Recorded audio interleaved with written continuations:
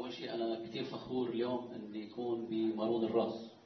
مارون الراس هيدي ضيعة والمنطقة يلي كانت الإشارة الأولى لصمود لبنان بحرب تموز 2006 أنا بعتقد إنه الأيام الأولى لحرب تموز يلي حصلت بمارون الراس هي يلي ثبتت قوة لبنان ثبتت قوة جيشه وشعبه وعروضه أنا اليوم جيت أكيد رمزية المكان رمزية الزمان والتوقيت.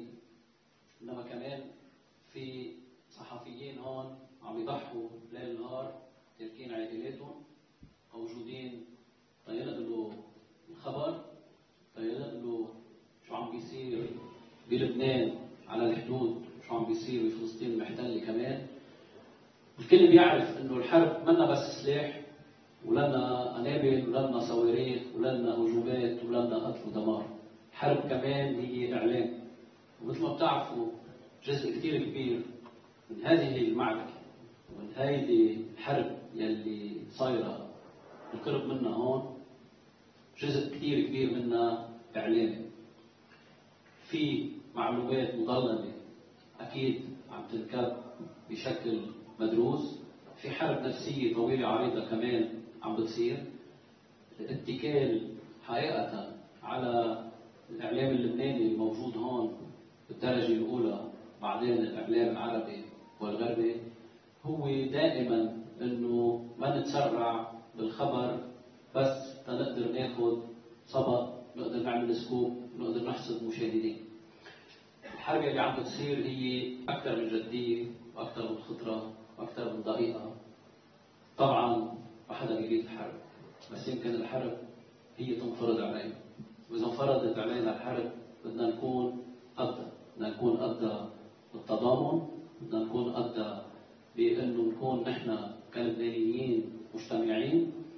بدنا نكون قدها خاصة بأنه نقدر نواجه كل شيء عم بيصير إعلاميا الطرف الآخر بذكاء وبمصداقية. وأنه ننتبه قد ما فينا على ثوابت معينة بالإعلام. في كثير إعلاميين بياخذوا شهرتهم من وراء أخبار زائفة من وراء أخبار لها علاقة بخطاب كراهية أو إنه سكوبات مش مضبوطة أنا بشوف إنه مش وقتها أبدا إنه نلعب هاللعبة بظروف دقيقة من هذا النوع. تبقى المصداقية والخبر اليقين يلي معلش بينطر. دقيقة دقيقتين ثلاث دقائق يطلع خبر صحيح من إنه يطلع خبر منه مضبوط ابدا وقد إنه ياخذنا على محلات منا ابدا مرغوب فيها مثل ما بيقول. ثانيا في كثير حديث على إنه نحن بدنا نكون موضوعيين. الموضوعية ما بتعني إننا نوقف مع الظالم ضد المظلوم والموضوعية ما بتعني ابدا إنه بدنا للشيء اللي عم يصير بفلسطين. الشيء اللي عم يصير بغزة هو إبادة جماعية. اللي عم بيصير هو إجرام. الإسرائيليين ما بيميزوا بين طفل وبين شيخ وبين صحفي وبين أمم متحدة وبين أجانب وبين أسرة حتى أسراهم عم بيروحوا كل يوم.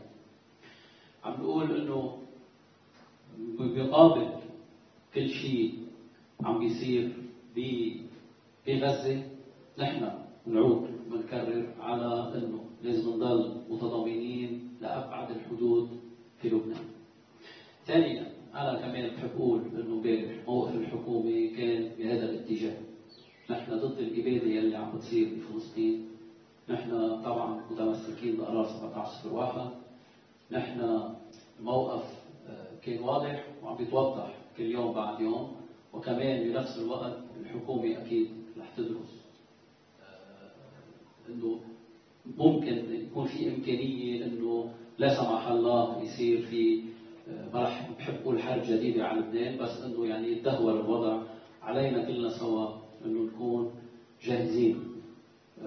لابعد الحدود وبادق التفاصيل. برجع بكرر أنا جاي شد على ايد كل الإعلاميين والإعلاميات الموجودين هون. نحن بنحب نقول إنه الدولة موجودة بالرغم من أزمتها بالرغم الأزمة الدستورية والأزمة السياسية بالرغم من الأزمة المالية والأزمة الاقتصادية اللي يعني عم بمر فيها البلد قد ما فينا نقول إنه الدولة موجودة رح تكون موجودة إن شاء الله.